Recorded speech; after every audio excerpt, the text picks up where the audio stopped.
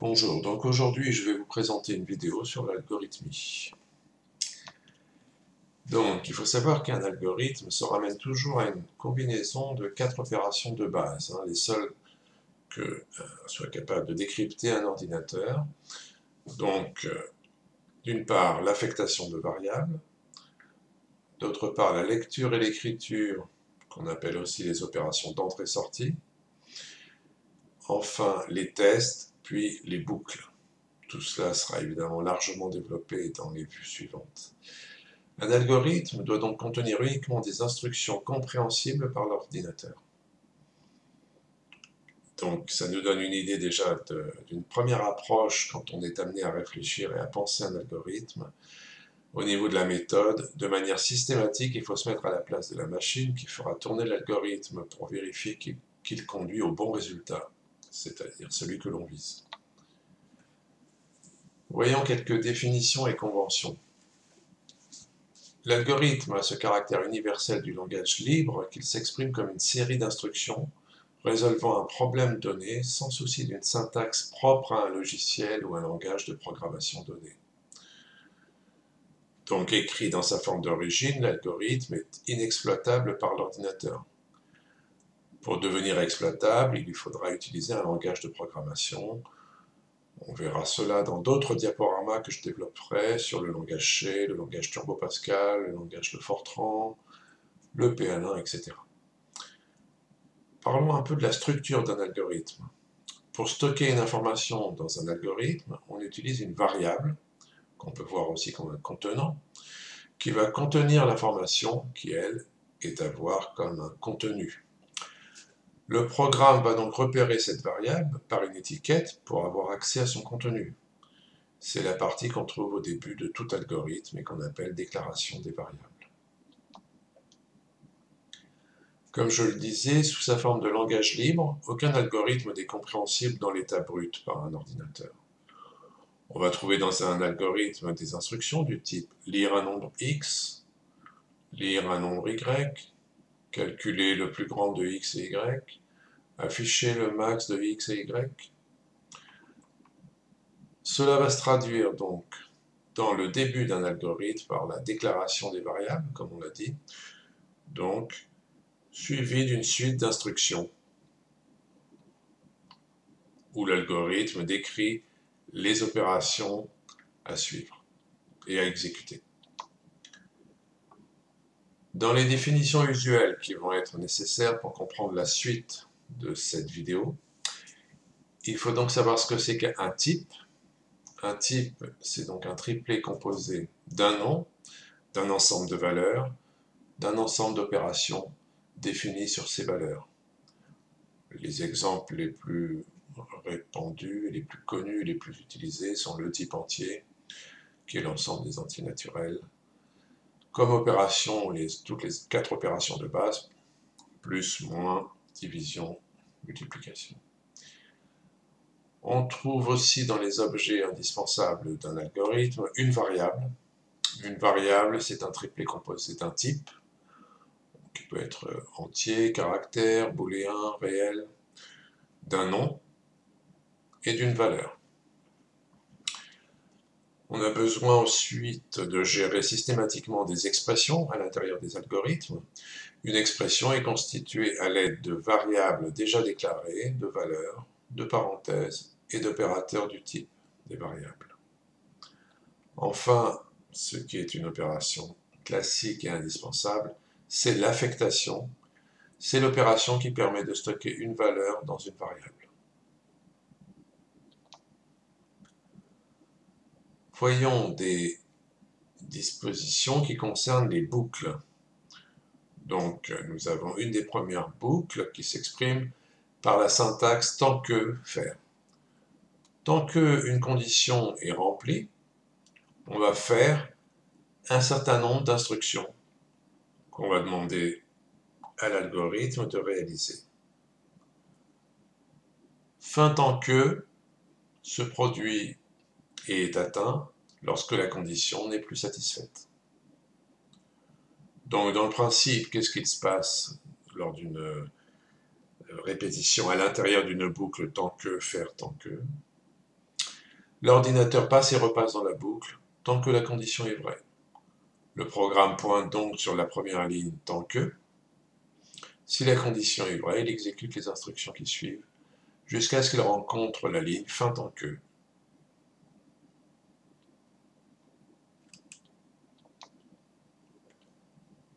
Voyons un des outils d'un algorithme, les conditions.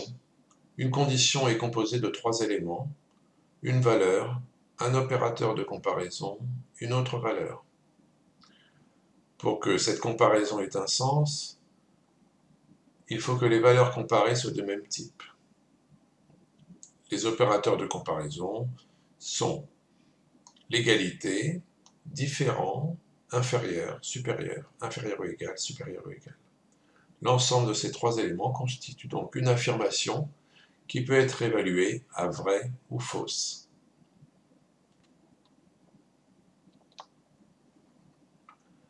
Alors on va voir ici un exemple concret de déroulement d'un algorithme. Ici on voit donc qu'on a déclaré trois variables SNA. Comme on le disait, cet algorithme commence d'abord par la déclaration des variables. SNA ont été donc déclarées du type nombre. Et on commence par le début de l'algorithme avec quelques instructions, ici trois instructions d'affectation. Voyons l'effet de la première instruction, affecter la valeur 5000 à S. On voit ici l'impact. Le contenant S contient le contenu 5000 on passe à la suivante, instruction d'affectation. Affecter la valeur 0 à n, et voici l'impact, la valeur 0 pour la variable n. Instruction suivante, affecter la valeur 120 à a, et on rentre dans une première boucle tant que. La condition ici, à observer, c'est S inférieur à 5200. Donc, comme on le disait au tout début, on se substitue à l'ordinateur. On regarde si vraiment à cette étape S est inférieur à 5200. Ce n'est pas le cas, S égale 5000. Donc on rentre dans la boucle tant que faire, tant que. Et voici ce qu'on va faire. Une nouvelle affectation, affecter la valeur S plus A à S. Donc S va prendre la valeur 5000 plus 120, 5120 affecter la valeur n plus 1 à n. n valait 0, il vaut maintenant 1. On a ici les valeurs de n et s suite à ces deux affectations. Fin tant que, on revient au début de la boucle tant que, puisque la condition est toujours remplie. Est-ce que f est inférieur à 5200 S égale 5120, donc oui. Donc on voit qu'on est obligé de rentrer à nouveau dans le corps de la boucle. Et on fait les opérations d'affectation successives. 5240, 2 pour n, et on a les deux valeurs de n et s.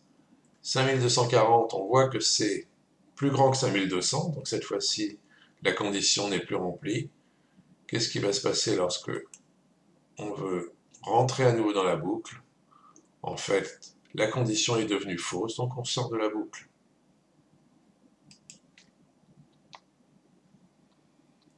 On va voir maintenant une autre instruction pour i allant de 1 à n par exemple. Contrairement à la structure tant que, où on ne sait pas à l'avance combien de fois on va passer dans la boucle, avec la structure pour, fin pour, ce nombre de passages est parfaitement identifié dès l'entrée dans la boucle. Donc évidemment, ça s'utilise dans des cas particuliers où ce nombre de passages est bien identifié dès les données connues de l'énoncé. Ici, à chaque passage dans la boucle, le compteur i va augmenter de 1. Donc, début du programme, déclarer i du type nombre. Pour i allant de 1 à n, faire un certain nombre d'instructions et on rencontre le fin pour dès que i a atteint la valeur n. On passe ensuite à la suite de l'algorithme.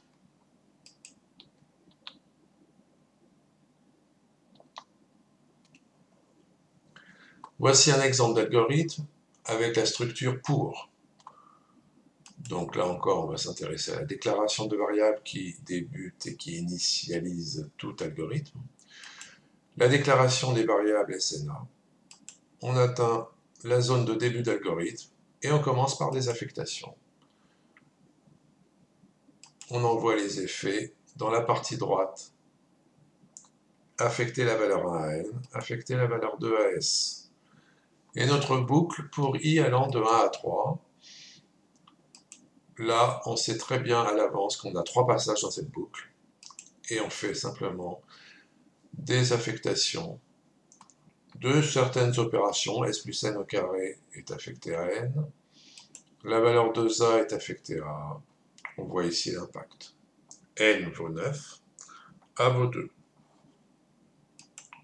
Les valeurs a et n sont écrites ici, pour l'instruction écrire a et n, 2 et 9. Fin pour pour l'instant, on a un retour dans la boucle pour, et on continue l'affectation jusqu'à ce que n vaille 3. Ici, on a un troisième passage dans la boucle.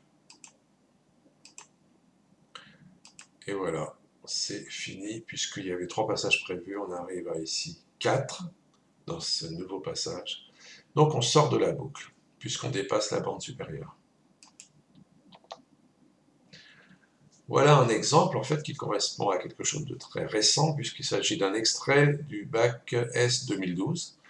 Dans l'exercice 3, la partie B, on avait une suite UN donc, qui était définie par cette expression, UN égale 1, plus 1,5, plus 1 tiers, plus 1 sur n, moins ln de n on avait cet algorithme à traduire pour trouver une certaine valeur. Donc ici, des variables bien identifiées, i et n de type entier naturel, u1 réel, et il fallait demander à un utilisateur d'entrer une valeur de n, faire une opération d'affectation, et ensuite une boucle pour, fin pour, suivie d'un affichage du résultat.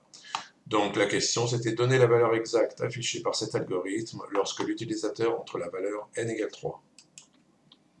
J'ai donc traduit avec euh, les trois colonnes pour bien voir les détails en fait de tout ce qui se passe lors du déroulement de cet algorithme.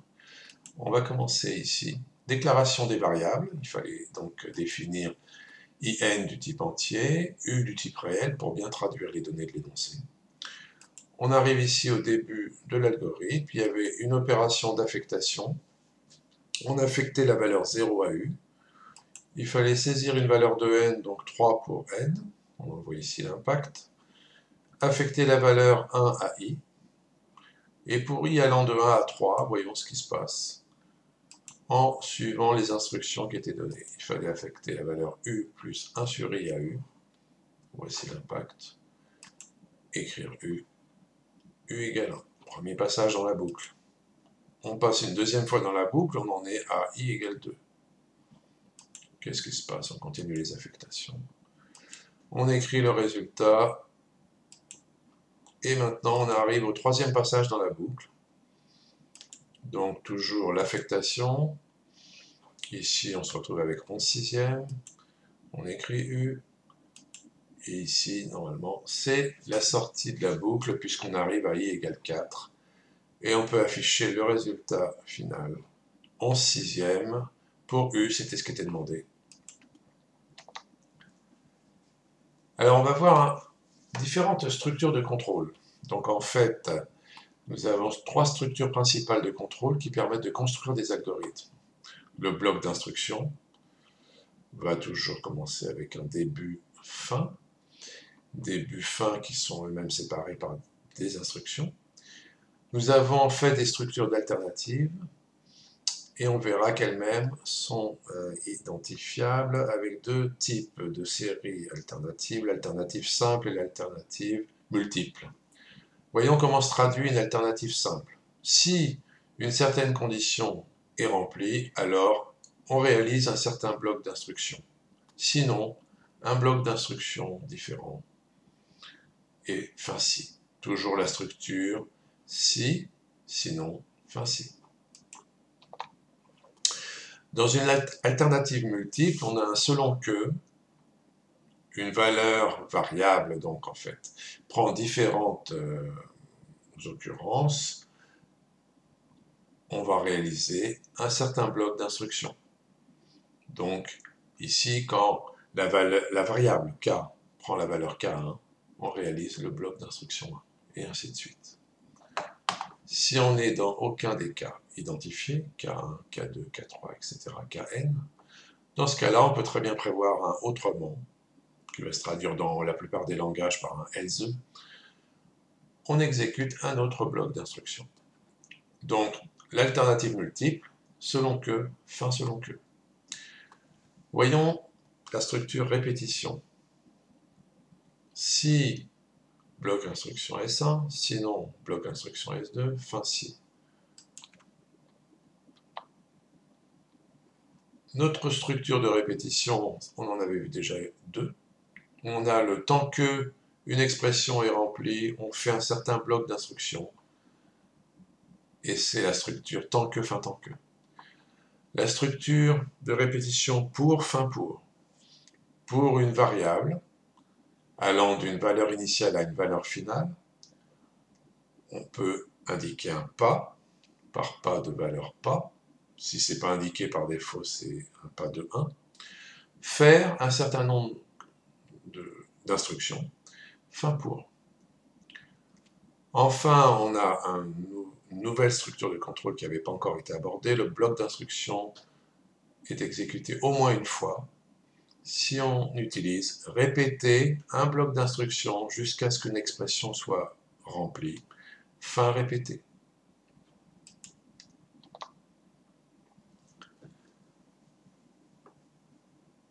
J'exposerai euh, donc dans des vidéos directes sur Skype plus amples informations sur les fonctions. Pour l'instant, on va passer sur cette vue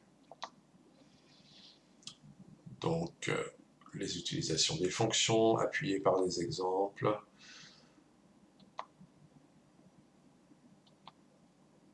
Il faut savoir qu'il existe parmi les accessoires nécessaires et utiles pour la, construction d'algorithmes, les tableaux. Un tableau, c'est une table d'association à clé unique, telle que le nombre d'éléments de la table soit constant, L'accès aux éléments s'effectue directement par la clé. Les valeurs minimum et maximum des clés sont des constantes. Donc, on peut par exemple considérer un tableau qui soit à deux dimensions ou à une dimension avec un minimum et un maximum d'indices. Par exemple, un tableau de dimension 1 et de taille 5, ce sera défini par t de 1 de point 5. Donc, là aussi, lors de séances en direct sur Skype ou lors de séances euh, en particulier, on pourra aborder plus amplement la partie tableau. Donc ici, ce sera étayé d'exemples deux parties de cours avec les grands classiques, par exemple, recherche de l'indice du premier élément dans un tableau. Alors on arrive à une partie très importante pour la compréhension et surtout la bonne écriture d'un algorithme, c'est nécessairement en s'appuyant sur un algorithme ou un organigramme. En algorithmique, il est aussi très pratique d'utiliser une représentation graphique à l'aide de symboles.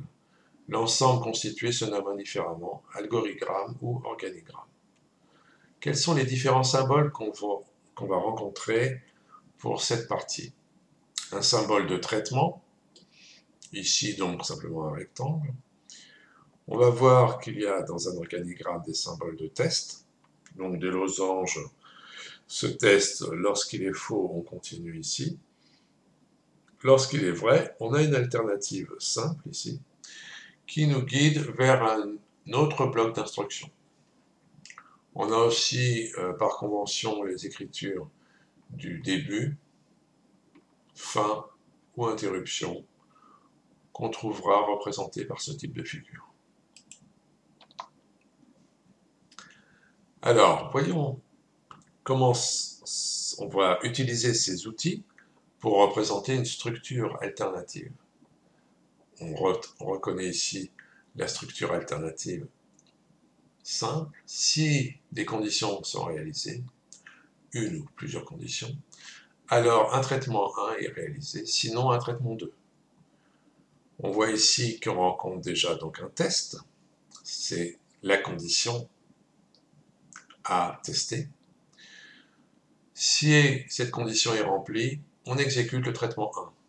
Sinon, on exécute le traitement 2 et on passe à la suite de l'algorithme. On peut très bien aussi rencontrer un si, fin si, sans qu'il y ait d'alternative. Si une condition est remplie, alors on exécute un certain traitement, toujours traduit par un bloc d'instructions. Sinon, on passe à la suite de l'algorithme. On voit aussi ici qu'il n'y a pas de sinon. Il s'agit d'une structure alternative réduite.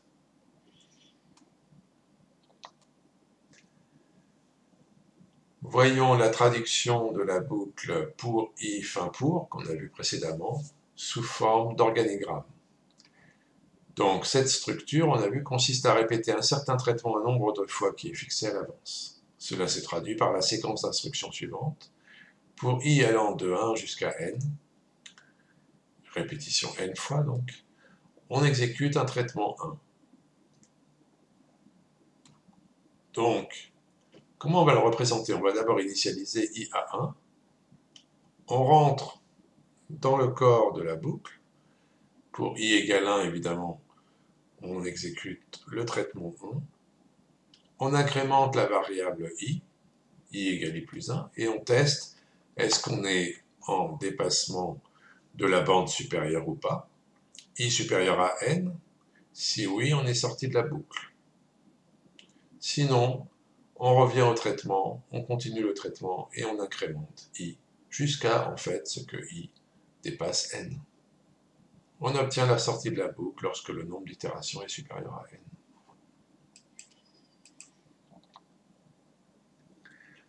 Voyons la représentation par organigramme d'une structure répétitive à boucle conditionnelle. La structure tant que, fin tant que. On a vu que cette structure s'applique lorsqu'on doit réaliser une tâche autant de fois qu'une certaine condition est valide. Tant que la condition est remplie, on fait un traitement T1 et fin tant que lorsque la condition n'est plus remplie.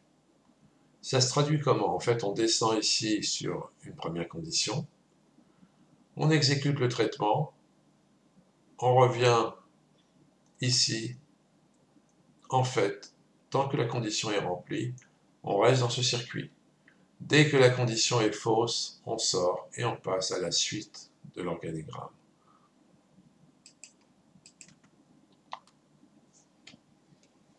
Maintenant, on va voir la traduction par organigramme d'une boucle conditionnelle avec la variante répétée jusqu'à. On a vu que cette structure répète un traitement jusqu'à ce qu'une certaine condition soit valide. La grande différence ici est qu'au moins, on passe au moins une fois dans la boucle. Cette structure se formule comme suit, répétée. Donc on répète le traitement jusqu'à ce qu'une condition soit vraie. Le traitement T1 avec des instructions à exécuter jusqu'à ce qu'une certaine condition soit remplie. Donc de toute façon, on exécute au moins une fois le traitement T1.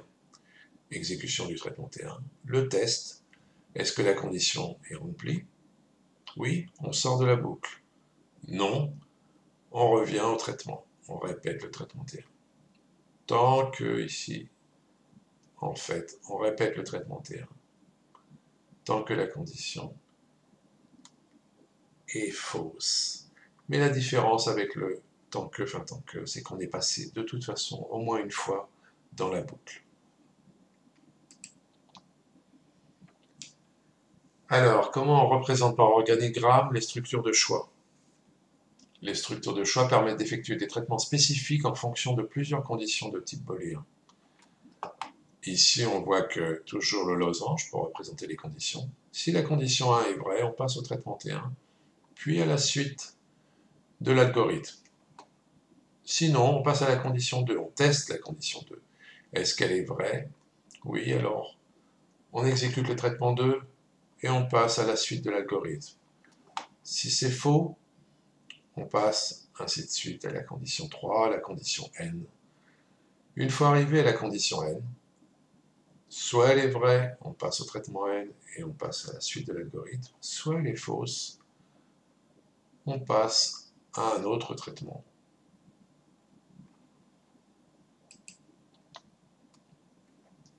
J'ai maintenant toute une série d'exercices qu'on pratiquera lors de nos séances en direct euh, sur Skype ou euh, de façon euh, dans des relations directes et en fait dans les séances physiques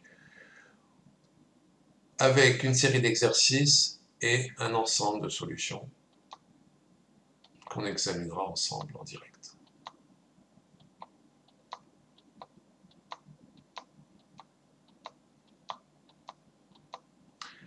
Alors, à la fin de cette présentation, j'ai différents outils que j'ai récapitulés ici. Avec les différents types de variables, il est important de connaître donc les booléens. Là, en fait, il s'agit de table de vérité. Une valeur de type booléen prend comme valeur vrai ou faux les opérations usuelles sont et ou non qui sont données dans les tables ici, qu'on appelle table de vérité. Donc c'est très important d'être à l'aise avec euh, ces valeurs puisqu'on est sans cesse confronté à des conditions qui peuvent être soit simples, soit des, euh, des combinaisons de conditions. Donc voilà, si des propositions P ou Q prennent ces valeurs-là, par exemple, si on lit ce tableau, on voit que si P est vrai et Q est faux, dans ce cas-là, la proposition P ou Q est vraie. La proposition P et Q est fausse. La négation de P, c'est le contraire, évidemment.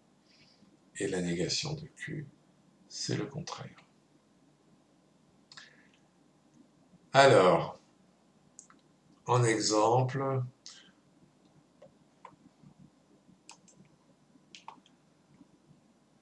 donc dans ce tableau, on voit les différentes valeurs possibles prises par la proposition non P, non Q, non POQ. Donc je vous conseille vivement de vous entraîner à reprendre en faisant un masque, par exemple, sur les différentes colonnes POQ, PQ, non P, non Q, non POQ, pour être sûr que ce soit bien maîtrisé. Voilà un exemple. On peut très bien définir ici donc des variables OK, même continuées, du type booléen, donc ils ne peuvent prendre que les valeurs vraies ou faux. Et voilà, dans la variable OK, on va mettre cette condition, est-ce que rep égale O ou rep égale petit o? Cette condition, renvoyant uniquement une valeur vraie ou fausse, est tout à fait homogène avec le type de la variable OK qui est booléen. Donc dans OK, on met du vrai ou du faux.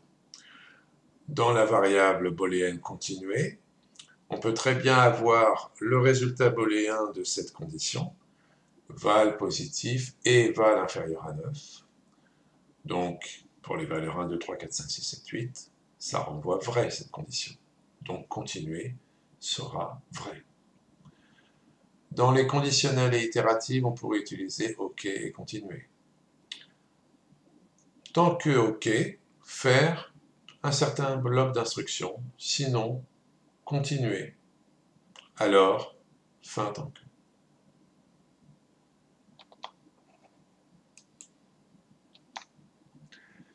Là, j'ai récapitulé dans un autre outil les types de variables qu'on pouvait rencontrer, donc avec un détail sur les entiers, les réels, les caractères. Voici une représentation graphique pour identifier quelle est la meilleure structure à choisir en fonction de la situation. Si le nombre d'itérations est connu d'avance, dans ce cas-là, on va utiliser une boucle pour. Sinon, on doit se poser la question, est-ce que j'ai un traitement qui est exécuté au moins une fois ou pas? Si c'est un traitement qui est exécuté au moins une fois, on va utiliser une boucle répétée. Sinon, la boucle tant que. Voyons un petit peu des éléments de logique des propositions. Donc, qu'est-ce que c'est qu'une formule booléenne Une formule logique, c'est une expression logique qui est composée de variables et de connecteurs logiques. La variable propositionnelle, c'est une proposition considérée comme indécomposable. Le connecteur logique, on aura la négation, qu'on représente par ce symbole, la conjonction, le « et », qu'on représente aussi par le chapeau, l'implication, la disjonction, le « ou », ou représenté par ce symbole. Voilà, si P et Q sont des variables propositionnelles, peut dire aussi des propositions. Voici un exemple d'expression qu'on peut rencontrer. Non P ou Q et non Q ou P ou non Q. Alors évidemment, c'est important de maîtriser ce que je disais euh, précédemment, les tables de vérité. Voilà les différentes tables de vérité pour chaque connecteur. La négation, la conjonction, la disjonction, l'implication. Donc ces outils-là sont vraiment nécessaires à connaître et à maîtriser pour aborder la construction d'algorithmes et plus tard la construction de programmes. On a certaines équivalences classiques en logique, notamment la commutativité. P et Q est équivalent à Q et P. P ou Q est équivalent à Q ou P différentes règles d'associativité qui sont présentes ici, notamment la distributivité. P et Q ou R est équivalent à P et Q ou P et R. Les lois de Morgan, donc la négation de P et Q, c'est équivalent à non P ou non Q. La, négation de P ou Q, c'est équivalent à non P et non Q. Donc, les applications à l'algorithmie. Grâce à une bonne assimilation des expressions logiques, on peut interpréter et bien comprendre l'arrêt des itérations à la sortie d'une boucle. À la sortie de la boucle, on a donc non-condition qui est vraie. Donc si la condition est P et Q, à la sortie de la boucle, la négation de P et Q est équivalent à non P ou non Q. Exemple, si on a une condition qui s'écrit val différent de stop et nb val inférieur à max, alors la condition de sortie, ce sera non condition. Et la négation de cette condition, c'est val égale stop ou nb val supérieur ou égal à max. Voilà, c'est ce qui termine en fait cette présentation sur l'algorithmie.